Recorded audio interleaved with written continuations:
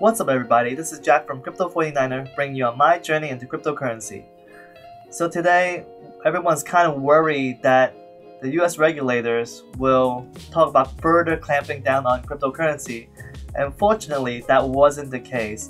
What they really talked about in the meeting that they had with the Senate was really just about ICOs overall. So not fun and that's not really regulation news that people got afraid of. It's not bad news compared to what we have seen the last several days leading up to the huge crash more or less from 9,000 down to 6,000 we were at yesterday. So I created something kind of funny, but it's really what it is. Is I created something called a crypto safety board just to. It's pretty much like how factories, construction factories have it, where you know they have gone certain amount of days without injuries on the job.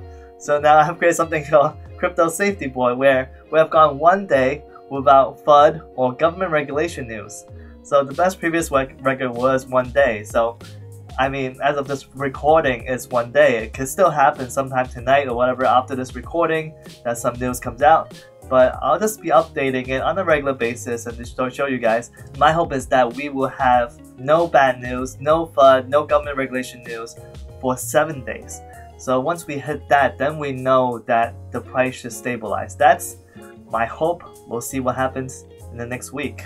So, I mean, as you can see right now, cryptocurrency has recovered somewhat, just like the United States stock market has recovered quite a bit from yesterday's crash. My expectation is still for it to go up and down as of right now.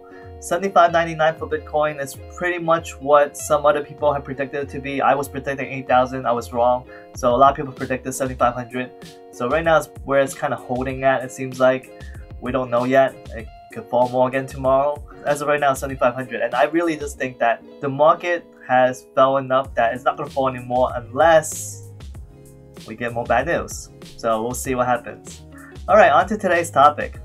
So today I want to talk to you guys about Daedalus. So Daedalus is a wallet built for ADA or the currency that is for Cardano.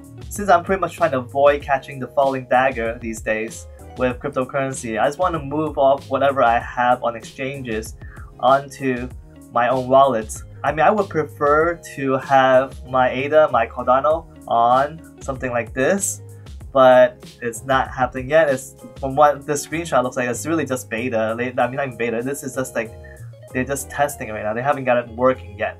So, but when it does happen with the Ledger Nano S, I would definitely be moving my ADA from the Daedalus wallet into Ledger Nano S.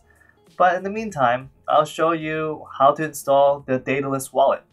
So the Daedalus wallet, as they say here, right now currently supports Cardano. They want to support other cryptocurrencies like Bitcoin and Ethereum. It is what they call a highly secure wallet. I do think that it's pretty good actually overall. It's not as easy to use as something like Exodus, but at the same time, it looks pretty nice. So right now, the Daedalus wallet is available for Windows and Mac, and unfortunately for Linux people, I guess you guys will have to use either one of these other platforms in the meantime, or have to hold your ADA in an exchange if you don't plan to use either one of these other platforms. So once you download for either one of these platforms, I'm going to show you for my Mac, because I did it for my Mac. Uh, honestly, it's not the safest. This is still a hot wallet, because the private keys is still exposed on the computer, unlike a Ledger Nano S, which the private keys are never exposed. But let's go through the installation process, and I'm going to go do that with you guys. So the first thing is after you download it, for the Mac version, they're pretty nice. They actually delete the installer file for you after you install it. So after you install it and then you start running it, the first thing you get to choose is the language, which I did. And after that, you have to agree to the terms of service. You can't blame them if you lose your keys, your private keys. Basically, that's what they're trying to say. So once you agree to the terms of service, then there's a send logs to a central server. My personal thing is I just don't send logs because unless I have a particular issue, then I will actually want to work with the Daedalus team to have to maybe to send the logs out for troubleshooting basis. But on a regular basis, I wouldn't want to do that with pretty much any product. So I said don't send.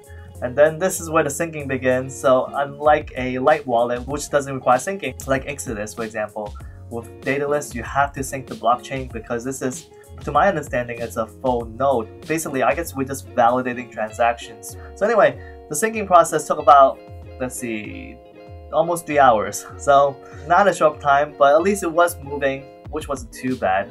So after I synced it, I said, um, create a new wallet. And then I asked you to name your wallet. I guess you can name whatever, whatever you want. there's a slider to activate to create your password, which I definitely did. So I just did funds wallet and I put in a password for it. So I'll go over one thing with the password in, in a bit, but um, I would definitely recommend putting a password on your Daedalus wallet. So the next thing is the recovery phrase. So they're to show you your 12 word phrase so that you can recover your wallet. So you have to check off in this box and click continue. So after I check off in the box, they show me my passphrase, which I have blanked out here. One thing I didn't like was that you can't just copy and paste this uh, recovery phrase into another document because my idea was not just writing it down because my experience with the Lisk wallet was I wrote it down but I wrote it down in the incorrect order and I wasn't able to re uh, recover my Lisk. That was painful.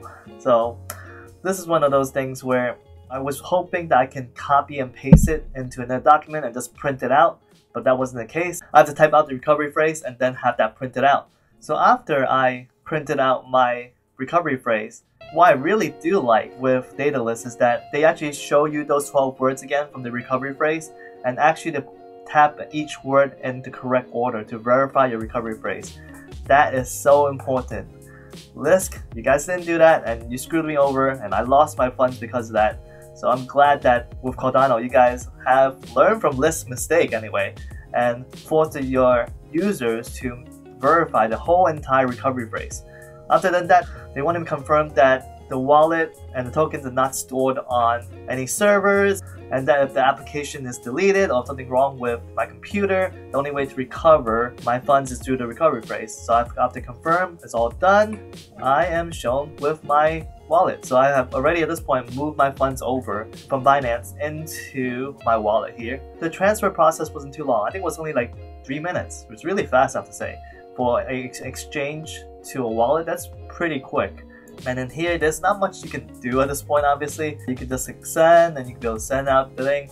One thing I haven't done is to send it back out because, I mean, I guess depends on how much you want to test and verify that the wallet is set up properly. So now that I received the funds, technically if I wanted to, I should test by sending out these funds back out to Binance to make sure the send process is working properly and then send it back in. But that would the total process would cost me 3 ADA, and I don't really want to do that at this point.